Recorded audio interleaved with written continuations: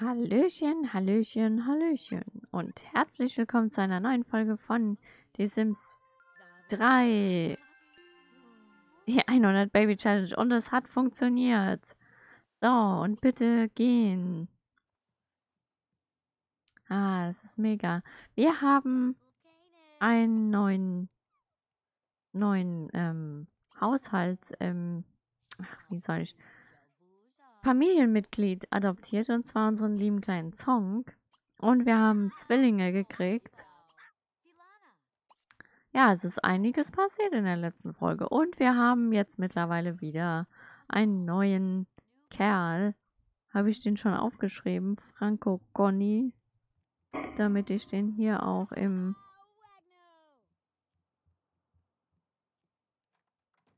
Franco Conny. Ich habe ja eigentlich gehofft, äh, was heißt gehofft?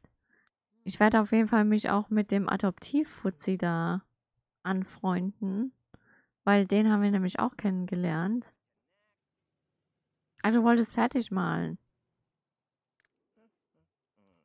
Wie sehen denn eigentlich eure Bedürfnisse aus? Gut, also beziehungsweise die Schulnoten sind auf zwei.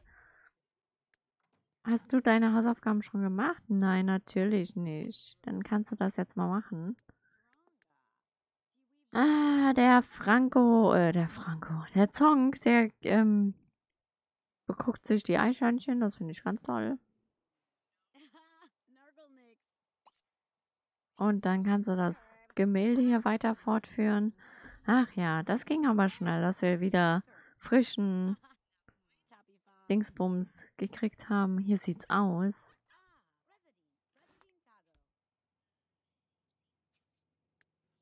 Hast du eben ein Haustier? Ja, das war aber schon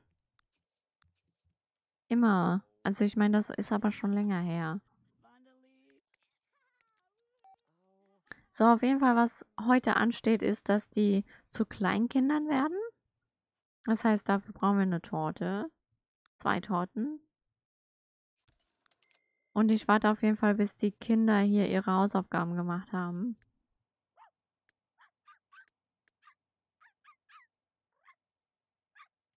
In der Zwischenzeit kannst du ja auch mal dich frisch machen. Und dann können wir uns ja auch mal mit dem Kleinen da auseinandersetzen. Du müsstest mal schlafen.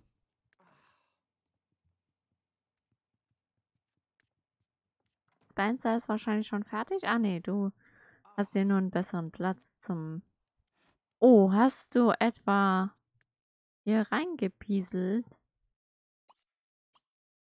Das ist natürlich scheiße, ne?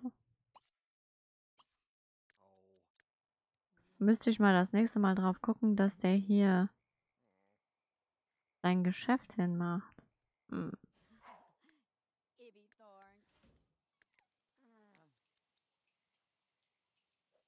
Nee, mit Franco müssen wir jetzt nichts machen.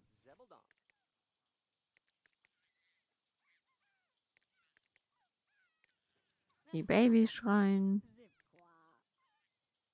Aber die haben jetzt erstmal einen kurzen Moment Zeit, denke ich. Was ist denn bei euch los? Ah ja, schmutzige Windeln. Kein Problem. Schmutzige Windeln wechseln. Flasche geben. Kuscheln. Schmutzige Windeln wechseln, Flasche geben und kuscheln. So. Ihr seid auch fast fertig? So, du möchtest noch als besten Freund gewinnen, den Song. So, du bist fertig? Dann kannst du ja mal das Verdorbene essen. Ich weiß nicht, warum das immer so schnell verdorbene Essensreste drin sind.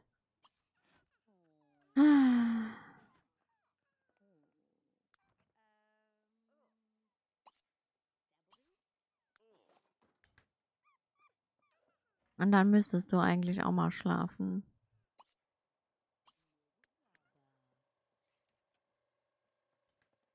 Vielleicht kann das auch noch warten, aber eigentlich wollte ich, dass die jetzt demnächst dann altern, damit ich anfangen kann, denen die Fähigkeit beizubringen. Ähm. Müsste mich auch mal wieder um den Garten kümmern. Ah, es gibt so viel zu tun.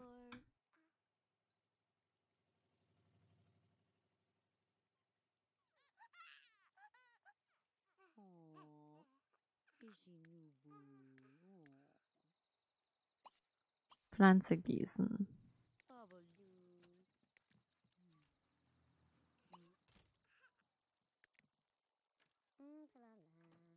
So Sprenkler, Sprinkler wären gar nicht mal so schlecht.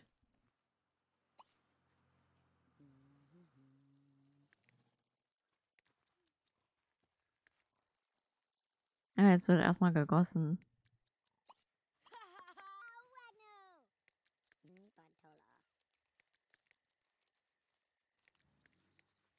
Damit die Sachen auf jeden Fall nicht kaputt gehen.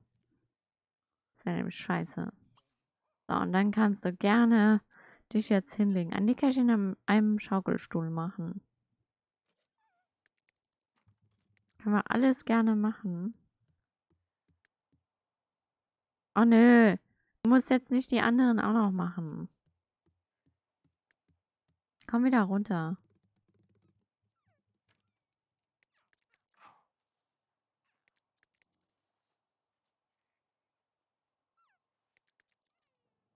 Der ist gleich auch irgendwie wieder wach. Unser Zonk.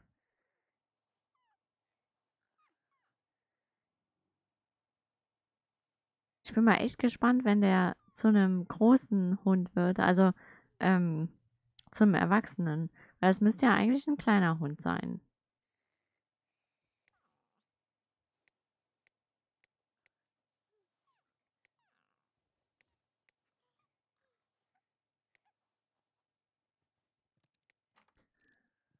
Oh nein, bitte. Spencer wecken? Nee, das muss jetzt nicht sein. Kannst du nicht einfach so mal aus dem Napf essen? Hui, ist scheinbar mit dem falschen Bein aufgestanden. Ja, super. Sowas kann passieren, ne?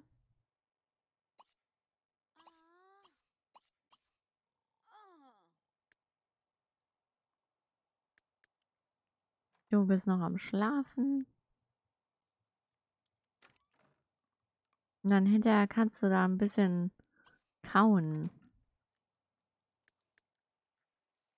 So, und du musst gekuschelt werden. Die liebe Emily. Oh Mann.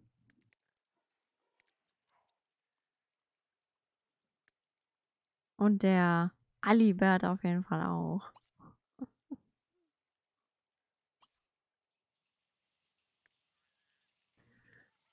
ah.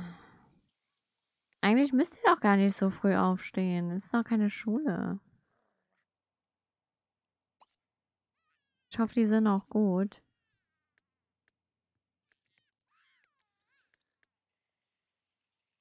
Kommst du da nicht dran?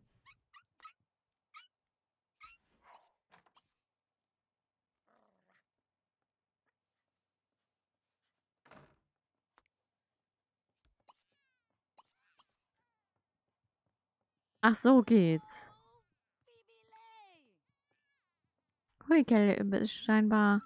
Ja, oh Gott, sie muss brechen. Oh Gottchen, das ist ja süß.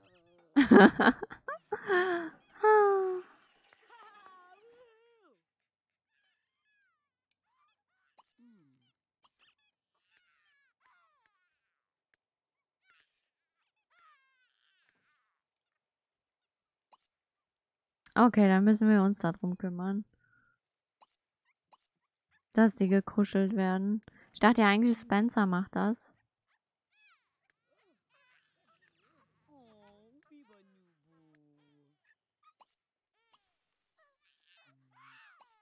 Aber die müssen, sollten ja schon ein bisschen gut gelaunt sein, bevor sie Geburtstag haben.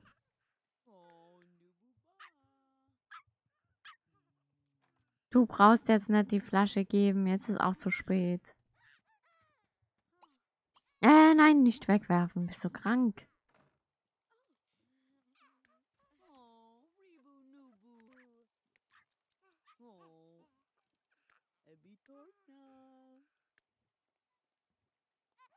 Ich dachte, du gibst ihm jetzt die Flasche.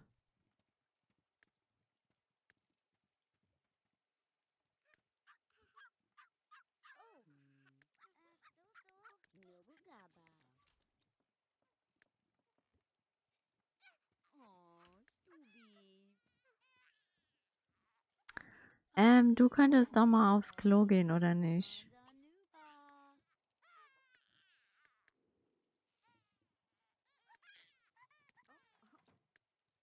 Es ist überhaupt nicht stressig, nein. Und dann sind gleich die Windeln voll.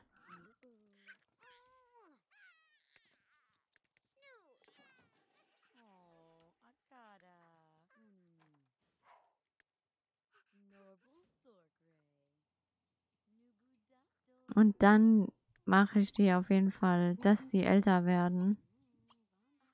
Alibert. Emily.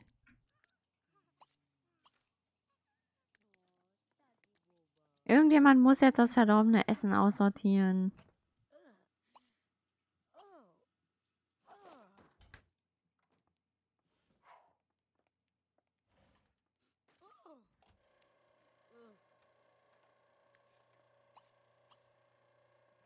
So, du räumst jetzt erstmal die ganzen Dinger hier weg.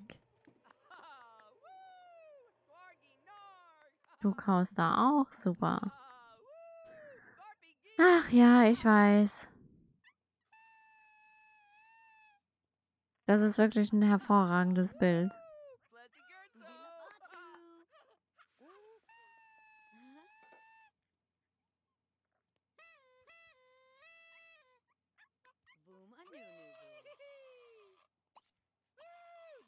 So, Emily muss jetzt auch noch Geburtstag feiern. Es ist einiges los hier.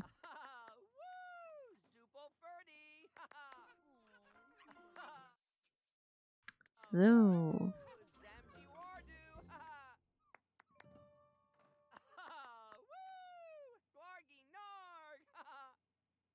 So, dem kleinen Mann könntest du mal die Windeln wechseln. Nein.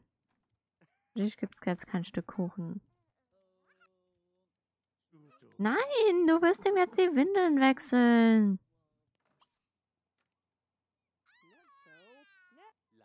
Was ist denn daran so schwer?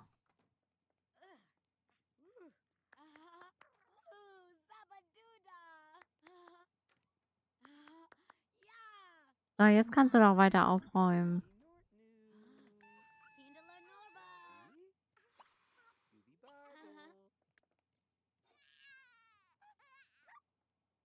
Ja, ist ja gut. Und dann hinterher dürfen wir dem Kleinen, der Kleinen auch noch die Windeln wechseln.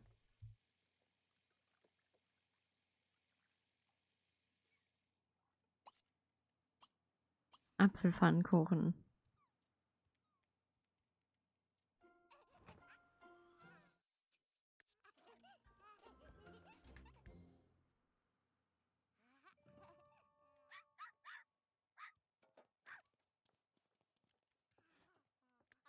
So, und du könntest der Emily mal Austöpfeln beibringen.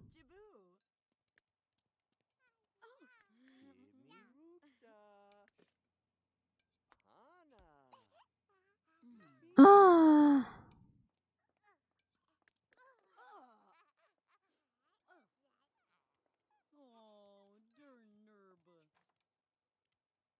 Ja, das ist mir egal, ob mein Handy klingelt.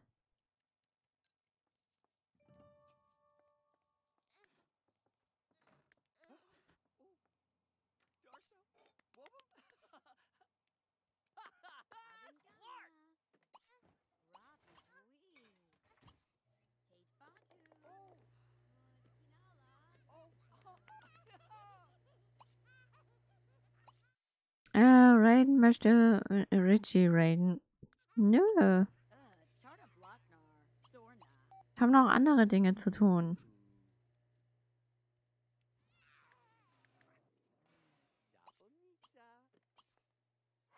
Nee, du machst da hier schön weiter.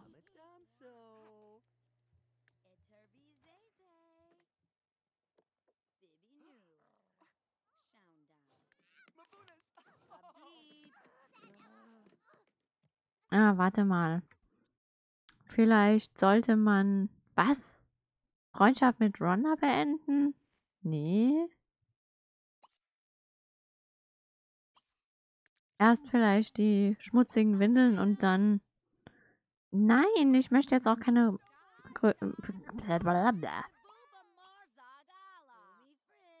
Oh, er muss dringend mal aufgeräumt werden. Na.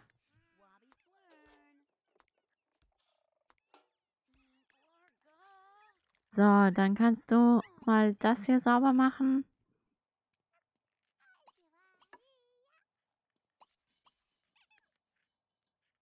Und du beschäftigst dich jetzt mal mit dem Dingens. Du musst dringend aufs Klo, dann rate ich dir vielleicht mal aufs Klo zu gehen und zu duschen. So, meine Güte.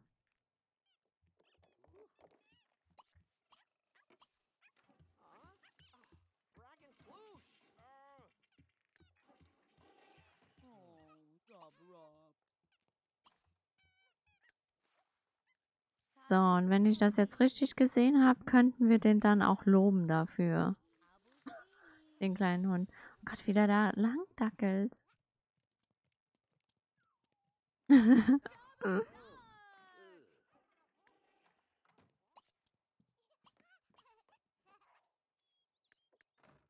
so, du machst dich frisch, du machst...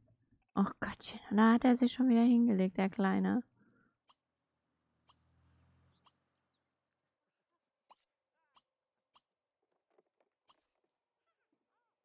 Und dafür wirst du natürlich jetzt belohnt, mein Lieber.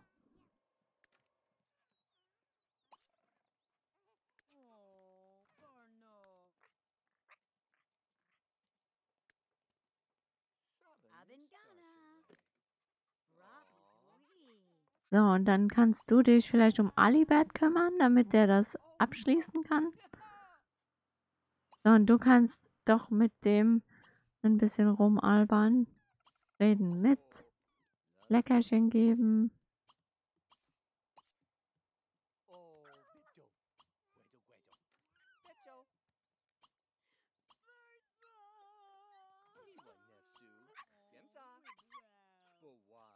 Loben.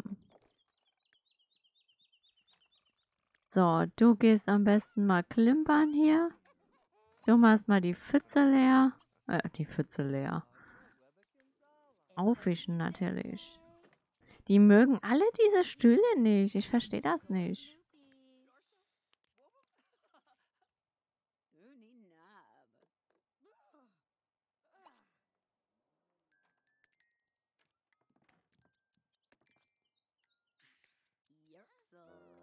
Hat das jetzt gereicht?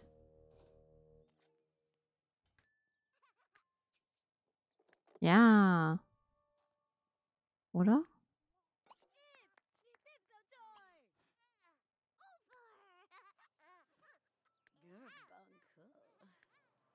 So, und dann können wir doch mal anfangen. Ja, die können sich mal um das... Warte mal. Dann fang du doch mal an, ihm das Laufen beizubringen.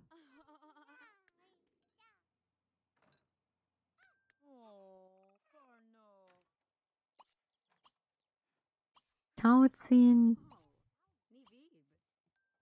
Streicheln. Oh, wie süß.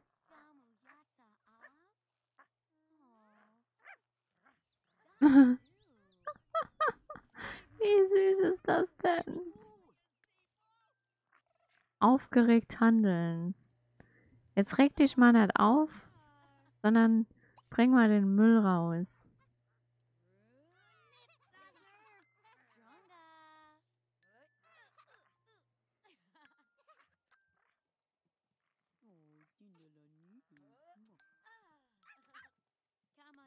Und dann können wir der Kleinen doch schon mal anfangen, das Sprechen beizubringen, oder? Dann haben auf jeden Fall alle was zu tun. Du kümmerst dich um den um den Hund.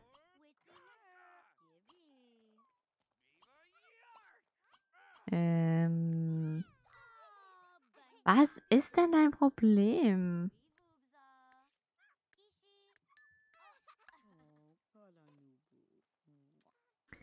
Das ist auf jeden Fall ein sehr entspanntes Wochenende, habe ich so das Gefühl.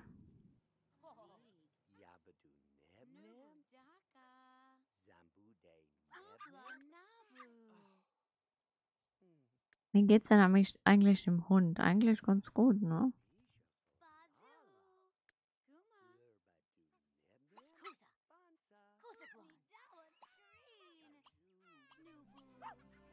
Tonk hat Spencer offensichtlich ganz besonders ins Herz geschlossen. Er möchte mit Spencer Freundschaftsleben schließen. Ach ja.